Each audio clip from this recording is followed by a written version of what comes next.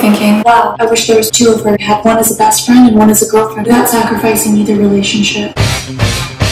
Now you're thinking, that's a cool jacket. I wish I had one like that. Archer, I love you. Thank you for 2,000 subscribers. First thought that comes to my mind is, where's the rest of you? There's how many billion people in the world? That's how many billion people should be subscribed to me. The second thing that comes to my mind is, should I start a charity? Maybe once I have 7 billion subscribers, I'll start a charity. Slay. I wear these pants to remind myself that I should check my privilege, because not everybody is born to be a leader. Some people are born to stand in the audience and shower me with affection. Some of you exist only to give me attention. However, each and every single one of you is my best friend. And we're dating now. We're dating now. We're dating now.